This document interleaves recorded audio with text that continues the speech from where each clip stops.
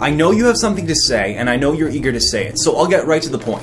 Shut the fuck up. Nobody wants to hear it. Nobody will ever want to hear it. Nobody cares. And the fact that you thought someone might care is honestly baffling to me. I've actually pulled the entire world. Here's a composite of the faces of everybody who wants you to shut the fuck up. It seems as if that this is a composite of every human being on the planet. Interesting. Now for a composite of the faces that want you to keep talking. Interesting. It seems as if nothing has happened. Here's a world map. Now here's the text. Shut the fuck up. That's what you should do. But you know what? Maybe I am being a little too harsh here. I actually do have it on good authority, thanks to my polling data, that there is at least one person who actually wants to hear you speak. It's a little child in Mozambique, and he.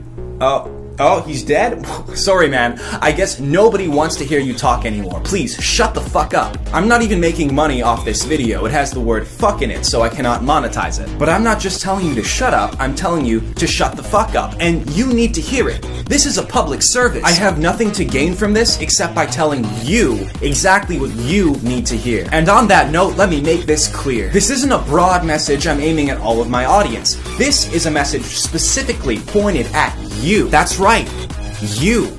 You know who you are. And I'm sick of your shit. We all are. The only good you will ever do for humanity is refusing to participate in it.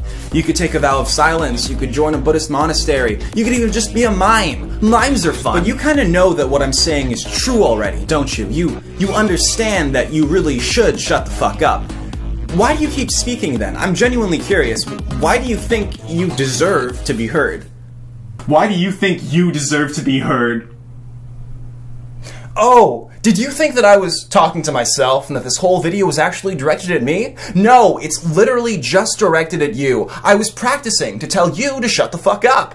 Shut the fuck up. Ooh, that one was good. Shut the fuck up. The core of what I'm getting at is that you are not a worthwhile person. You're not worth listening to. Everything you've said has been said before, more eloquently and more coherently. And it's not that everything has been said, we still need people to have discourse in order to say new things and discover new things about ourselves and humanity, but you, you will never be one of those people. So shut the fuck up. But I get it.